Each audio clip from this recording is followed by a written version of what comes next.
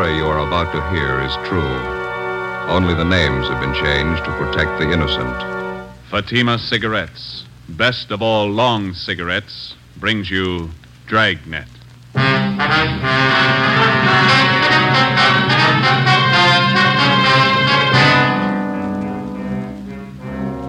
You're a detective sergeant. You're assigned to homicide detail.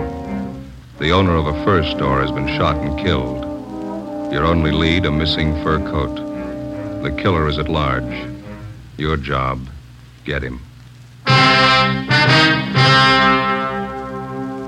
If you want a long cigarette, smoke the best of all long cigarettes. Smoke extra mild Fatima. Yes, Fatima is the king size cigarette which contains the finest Turkish and domestic tobaccos superbly blended to make it extra mild, to give Fatima a much different, much better flavor and aroma than any other long cigarette. That's why Fatima has more than doubled its smokers coast to coast. Enjoy extra mild Fatima yourself. Best of all, long cigarettes. It's wise to smoke extra mild Fatima. It's wise to smoke extra mild Fatima.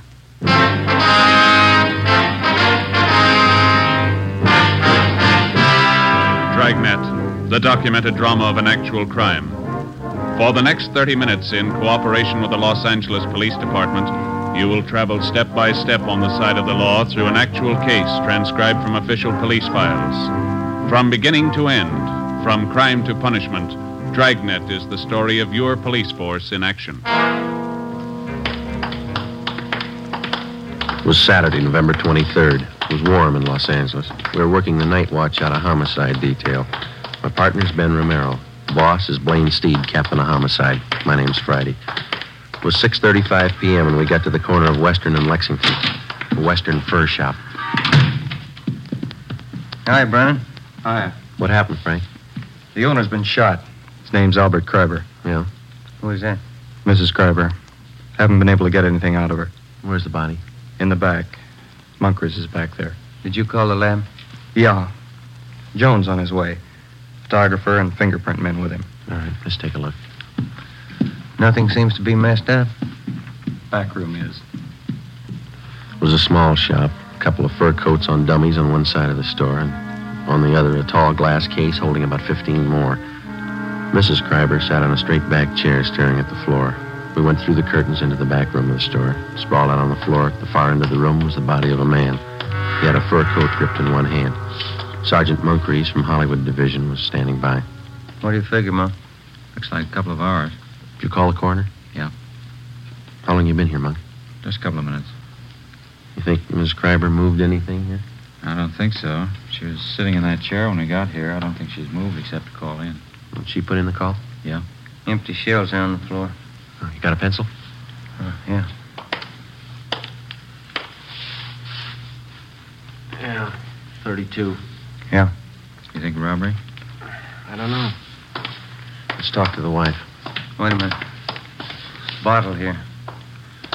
Yeah, Sierra Valley Wine Company. World's finest muscatel. 27 cents a pint. Nobody touched this today. No, well, I've been here. No. Okay, let's get out front. Anything in the customer files, Brennan? Not so far. Have you tried to talk to Miss Kreiber again? No, pretty bad. Let's give it a try. Miss Kreiber? I'm Sergeant Friday. This is Sergeant Romero. We'd like to talk to you if we could. We know how you must feel, but there are a few questions that we have to ask you. Did you telephone the police? We have to know how it happened, Miss Kreiber. Miss Kreiber? Can you tell us what happened? Uh, who, who is it? What do you want? We're police officers. Oh, Albert. Albert's dead. Albert! Albert! Someone call the police. Miss Kreiber, we are the police. My husband's been murdered. He's dead.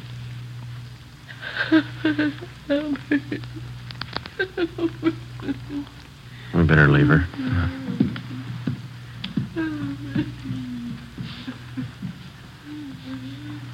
Friday. Hmm? Here's something I found in the customer file. Mm-hmm. Miss Terry Shepard, 10113 Normandy, apartment 3. What about it? She took a coat out that was in storage. Took it out today. We'll check her out when we're finished here. Thanks. Looks like the only hot receipt in the file. Mm-hmm. Hi, Lee. Joe, again? In the back room. What is it? Killing. Moncrief will show you. Okay, let's look. Think we ought to try the wife again? We can try.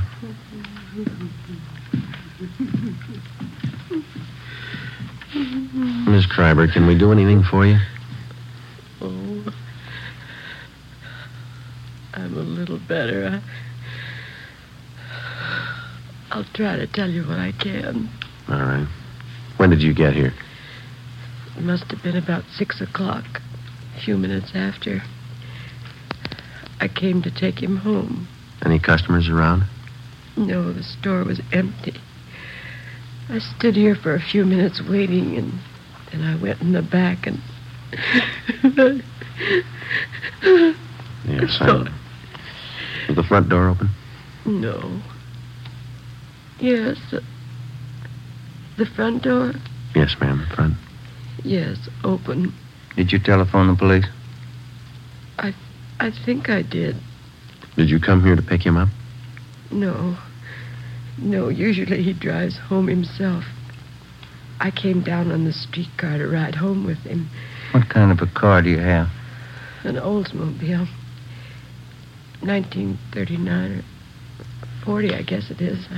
Where does he usually park? in the rear of the store. This little place back. I'll take a look. All right. Where is your home? 3412 Northwestern. I thought there was something wrong when I, I got a telegram from him. He said not to come down tonight. He said he'd be home late. What time was that? About four o'clock. Oh, I, I'm all mixed up. I, I haven't told it to you as I remember it. First, yes, if first I telephoned here to the shop. That was this afternoon? Yes, 3.30. I, I'm sure of that because I, I made some other calls. I spoke to Albert. He didn't say he was going to be late. Then at 4 o'clock, I received the telegram. Do you have that with you? Yes, it's in my purse somewhere. Somewhere. Somewhere. Oh, here it is. Right. Thank you. Don't come down. I won't be home until late after see a customer, Albert. Can I keep this? We'll return it to you. Yes. What'd you do after you got this wire, Miss Kreiber? Well, well, nothing. I, I thought it was strange, but I didn't think too much about it. Then I, I started wondering why he didn't say anything over the telephone about being late. So, well, I came down here on the streetcar. Did you phone the store just before you left your house? Yes, but there was no answer. Mm-hmm. Parking lot's empty. Better get out an APB on the car, huh? Miss Kreiber, you said your car was a 1939 or 40 Oldsmobile, didn't you? 1940. I remember now. What model is that? Oh, it's sedan, light blue. Do you remember the license number? Well, I have it on this chain with the extra keys. Here it is, on this little tag. The veterans make these. Thank you. Joe, can I see him, man? Sure. Excuse me, Miss Kreiber. Do, do you want me to wait? I, I'd like to go home. We'd like you to wait for a little while, yes. Do you have any relatives living here? A niece and a nephew in Beverly Hills. Jerome Reed.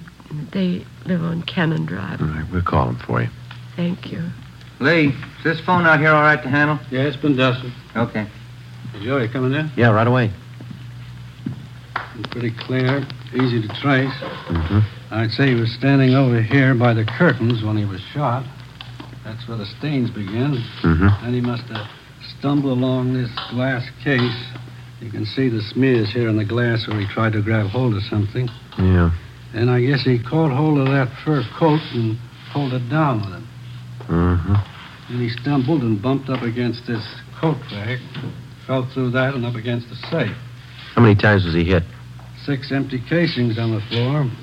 Looks like four through and through wounds. 32, huh? That's right. Your wife know if anything's missing? Yeah, she's in pretty bad shape. It looks to me like somebody took his wristwatch and a ring from his left hand. If he had a billfold, that's gone. No coat. All the trouser pockets are turned inside out. What about that wine bottle? It's smeared. Can't lift a thing. Okay, thanks. Ben? I'm still on the phone. Okay. No, no, no. License 15 Boston. 6707. No, 707. Yeah. Driver might be on. Hang on a minute, Wallace. What? Now give that DMV, will you? Save another call. Miss Kreiber, did your husband have a wallet? Yes, yes, brown alligator. Did he keep his identification in it? Yes. Did he carry much cash? No, just a few dollars. He was always afraid of holdups. Thank you. You want to give that to him, Ben? Yeah, okay. Hey, Wallace. Suspect might have a brown alligator wallet with identification cards of Albert Kreiber. Yeah, that's C-R-I-B Boston, B Boston, E-R. 3412 Northwestern Avenue. Yeah. Yeah, okay. Yeah, bye. Joe? Hmm. Might be something here. Yeah, Monk? Invoice from the Far North Fur Company. Three mink coats delivered here today. I looked all around. I only found two, one missing. Did you find a sales slip for the other one? No. Miss Kreiber, would you come over here, please? Yes. Where are they, Monk? Over here. All right, over this way. Well, these are mink coats here, aren't they? Yes. Yes, wild mink. Albert told me he ordered them. Yes, ma'am. We found the invoice. He ordered three. There are only two here. Do you know anything about any of his customers? No, no, I don't. I never met any of them. Oh, I remember now. Just the night before last, he called someone from home. Told her he'd have some minks in today and she could come in and look them over. Do you know who that was? I, I didn't hear any name. Miss Kreiber, do you have any idea who might have wanted to shoot your husband? No, none at all. He was friendly with everyone. Everybody liked Albert. He didn't run around. He, he was either working or at home. Did he drink? Not at all. No, I mean beer, a little wine, no, maybe. No, no, he never touched anything. All right, thank you. Brennan, will you see that Miss Kreiber gets to her nephews? Right away. Thank you. Might as well go, Ben. Yeah. We can talk to some of the neighbors. Six shots fired. Wonder why nobody heard him. Pretty heavy traffic outside, huh? Somebody wanted a mink coat pretty bad. Coat like that costs quite a bit, doesn't it? This one's going to come a little high. Yeah.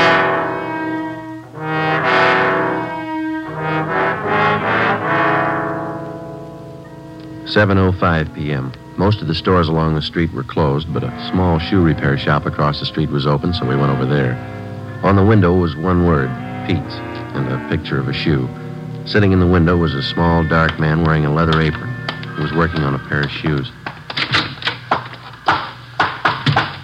Hello. We're police officers. I see you drive up across the street. Are you Pete? Sure. Uh, what happens to Mr. Kreiber? He's robbed? No, he was killed. No. Shot? I do not hear anything. Have you been sitting in your window all afternoon? Oh, most all the time. You see, I have machinery here. I advertise that way. People watch me. Mm-hmm. Do you remember seeing anybody going into Mr. Kreiber's this afternoon? Uh, this afternoon, the foreman. Uh, two, three long black cars. Uh-huh. Anybody else? Uh, some. Were they women? Officer, they are all women. I see. Did any of them walk out with a new fur coat? Uh, there, all done. I do not see all of them, I guess, but I see two. Can you describe them? Uh, one, beautiful young girl, tall, red hair. She walk out with big package. What time was that? Three, four o'clock. Uh, the second woman is about the same time. Funny thing. I do not see the bottle, but Benny from liquor store on corner tell me the second one, the blonde. She buys bottle wine. Did he tell you what kind? No. Reason I remember, I laugh when he tell me. I go over to Benny's for a can of beer. Uh, he tells me she buys cheap wine, walks out of Kreiber's with new fur coat. me, I spend five dollars for good wine, and my wife has no fur coat. How old was this blonde? How was she dressed? Uh, she's maybe 25. Young, you know, not too young, but young. She has on slacks, uh, gray. Mm-hmm. What kind of a fur coat was she wearing when she came out? Mink. Look from here like mink. I see. Did you notice where she went? Mm. The blonde, the gray slacks, mink coat. Yes, it turned the corner onto Lexington and she went up the street. Did you see Mr. Kreiber's car drive away? No, he parked in back. I don't see him come in. I don't see him come out. All right. Thanks a lot, Pete. Mm-hmm. Y- you know, officer, uh, that blonde, something wrong there. How do you mean? Well, she has got fur coat, but she drinks wrong wine. I don't understand. Why do you say that? Five thousand dollar coat, twenty-seven cent wine.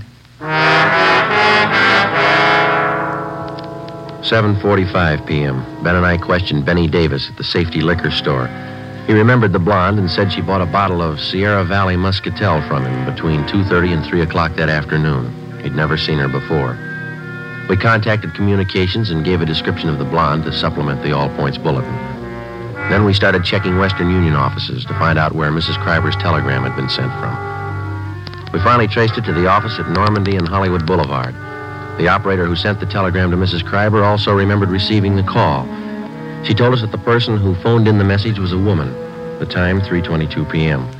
We asked her to put a tracer on it and told her we'd check back. 8.24 p.m. Ben and I went to 10113 Normandy to talk to Miss Terry Shepard, whose name had appeared in the customer files at the fur store. The receipt showed she'd taken a coat out of storage that afternoon. This is something like the place the wife and I used to live in. Yeah? Same people must have built it. Apartment three. Miss Terry Shepard. All right, come in. The door's open. Find yourself a seat, Fred. I'll be with you in a minute. Police officers, Miss Shepard. Oh? What's wrong? We'd like to talk to you. What about? Wonder if you could come out here, please. Well, I just got out of the shower. You'll have to wait a minute. Yeah? Yeah, this place has got the same floor plan as mine. too. Kind of small, isn't it? Hmm, not too bad. Wonder what rent she pays. Uh, you don't mind if I wear this tubing, do you? My hair's wet. It's all right. We're sorry to bother you. What can I do for you? You got a fur coat, Miss Shepard. Yeah, sure. Wonder if we could see it, please. Sure, but I don't think it'll thrill you. It's only muskrat. I bought it in Pittsburgh. Where is it, in the closet? Yeah. I'll get it. It's uh down the hallway, first door on the right. I think I know where it is. What's this all about, Lieutenant? What time were you at the Western Fur Shop today? Oh, I'd say three o'clock. Why? What'd you do while you were down there? I got my coat out of Hawk. I had it there during the warm weather. Paid the man, signed something, and uh, he put the coat in a box, and I took it. Mm-hmm. Do you know Mr. Kreiber down there, the man that owns the store? You got me. The man was about 50. His hair was a little gray. I hardly even looked at him. This is the only fur coat, Joe. Could have passed for mink when I first bought it. It's pretty sad now, isn't it? Not mink. I'll give that closet a last check. All right. What happened? Did somebody steal a coat? Was anybody else in the store while you were there? Uh, yeah.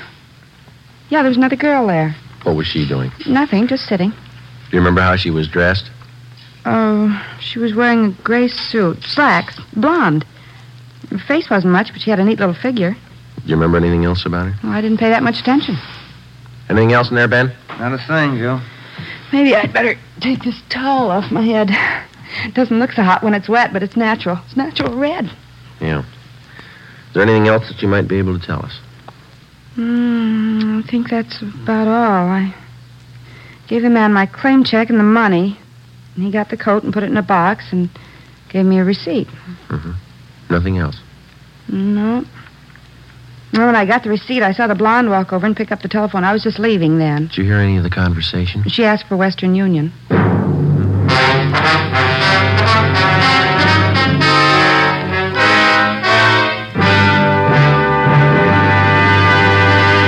You are listening to Dragnet, the case history of a police investigation presented in the public interest by Fatima Cigarettes.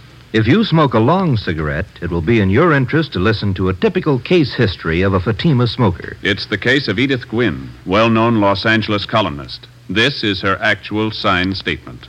It's my job to keep up with what's going on around town. And here's one thing I've noticed lately more and more people smoking Fatima. You certainly can tell why once you smoke them. I found them milder than any other king size cigarette, and that's important to me. Yes, I agree. It's wise to smoke extra mild Fatima. And so do more and more smokers every day.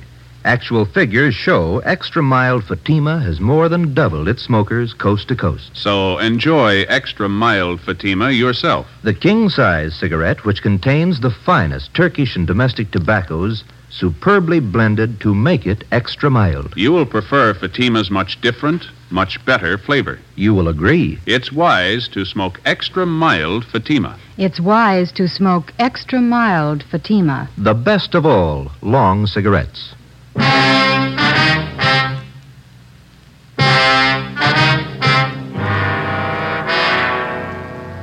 Sunday, November 24th, 9 a.m. Ben and I contacted the owners of all the shops in the vicinity, but none of them saw or heard anything at the time of the shooting. Officers Brennan and Moncrief interviewed all the regular customers of Albert Kreiber's fur shop.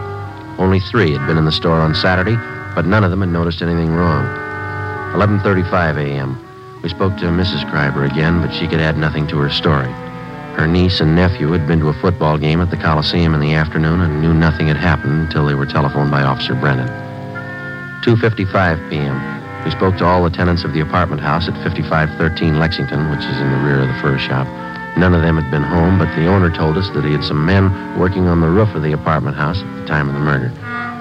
Through the owner of the durable roof company, we traced the two men who had been working on the roof, and they told us that about four o'clock they had seen a blonde dressed in gray slacks enter the parking space in the rear of Kreiber's fur store. They whistled at her, but she paid no attention to them. She got into an Oldsmobile and drove east on Lexington. 7 p.m. We checked in at the office and got word that Albert Kreiber's car had been located in a parking lot at Vermont and 8th. We drove down to the location and talked to the parking lot attendant. Well, the car must have come in sometime last night. It probably came in the back way because I don't remember it coming in, and it doesn't have our lot tag on it. Did you work all last night? No, I finished at midnight and started at 10 this morning. I kept waiting for somebody to claim this thing, and, well, and after supper, I figured it might be stolen, so I phoned the police. It's been sitting here all that time. Are there any keys in it? No, sir, there weren't last night either. Have you ever seen this particular car before? No, sir. Have you ever seen a blonde woman about 25 wearing gray slacks? You mean hanging around here? Yeah, or in the neighborhood. Mm, yeah, but not today or yesterday. Do you remember one? Well, yes, sir. Does she drink a lot? Maybe. Well, there's one that hangs out in these bars around here. Once in a while, she comes in the lot, but not lately. When'd you see her last? Oh, a couple of weeks ago. Was she with anyone? Yeah, but I don't remember him. I seen her with a lot of different guys. Does she hang around with anybody in particular? Yeah, her husband. Before leaving the parking lot, we pulled the rotor out of the distributor so that nobody could drive the car away. 8:12 p.m. We called homicide and asked for more men to canvass the bars in the neighborhood. Ben and I staked out on the car. We sat in our car across the street from the parking lot until midnight. Nobody showed up to claim the car. The streets were almost empty. Our only chance was that the blonde lived in the neighborhood or was in a bar and would sooner or later try to claim the car. 1:53 a.m. Hmm. What rent do you suppose that shepherd girl pays? You got me. 75? I don't know. I bet I pay more than she does. Is that Moncrief? Yeah. Hi, Monk. Hi. Let's take a look up the street. See that couple? Where? Coming this way. Blonde, gray slacks, fur coat. She's pretty drunk. Where'd you spot her? Turned the corner from Olympic. They've been looking in parking lots. Monk, there's a rear entrance to this lot off the alley. Do you want to cover that? Yeah. Thank you. You see him all right? That's it. Where'd they walk under that light? Yeah. Pretty drunk. Looks like the same kind of coat, isn't it? Yeah. Mm-hmm. Stopping. Looking for another parking lot, I guess. Sierra Valley Wine, world's finest muscatel. And going into the parking lot. She's not carrying a purse. Those coats don't have pockets big enough for a 32 automatic. That stuff sure gets people. All right, let's go. They're getting in Kreiber's car. Look, we can't even find the door. She's helping us. Down the window, can't you? You take the other side of the car, will you? Yeah. Stop pushing me.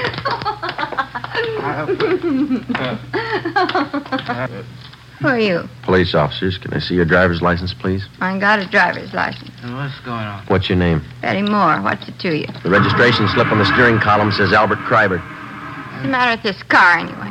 Who's Albert Kreiber? Oh, I know who he is. This guy here. Who is this man? Huh? What you say? He's a friend. That satisfy you? Yeah, I'm a friend. Something the matter with Take a look in the glove compartment, Ben. Okay. Come on, honey. Let's get going, huh? Yeah. It's locked. What do you want in there for? Let me have those keys. Hey, Here you are, Ben. How about going home? there's nothing in there.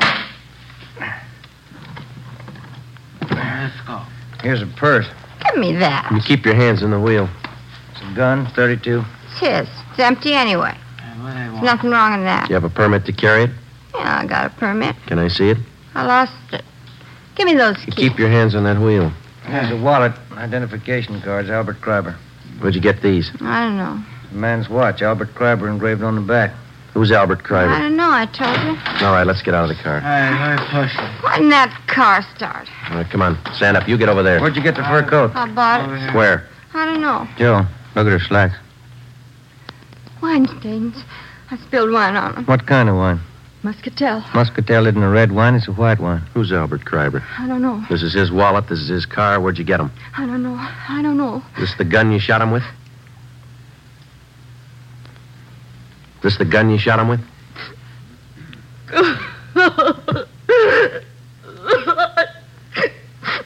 I was going out with him. He said he'd give me a fur coat. He promised me a watch, and he never gave me one. and then we sent a telegram to his wife and everything. Give me a fur coat and take me out. he backed out on me. So you shot him.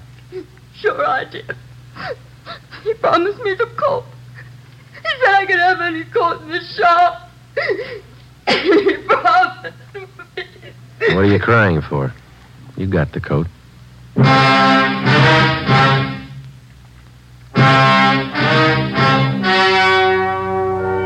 story you have just heard was true. Only the names were changed to protect the innocent. On February 27th, trial was held in Superior Court, Department 86, City and County of Los Angeles, State of California. In a moment, the results of that trial. It's amazing how many long cigarette smokers are changing to extra mild Fatima. Here is the actual report. From coast to coast, extra mild Fatima has more than doubled its smokers. Yes, more and more smokers every day are discovering that Fatima is the king size cigarette that is extra mild. Extra mild because it contains the finest Turkish and domestic tobaccos superbly blended to make it extra mild, to give it a much different, much better flavor and aroma. Enjoy extra mild Fatima yourself. Best of all, long cigarettes. It's wise to smoke extra mild Fatima. It's wise to smoke extra mild Fatima.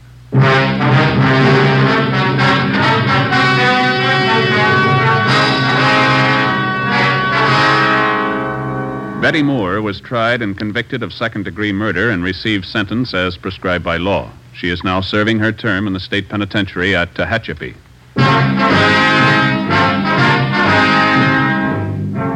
Have just heard Dragnet, a series of authentic cases from official files. Technical advice for Dragnet comes from the Office of Chief of Police W.A. Worton, Los Angeles Police Department. Fatima Cigarettes, best of all long cigarettes, has brought you Dragnet, transcribed from Los Angeles. Next, hear Sara Berner in Sara's Private Caper on NBC.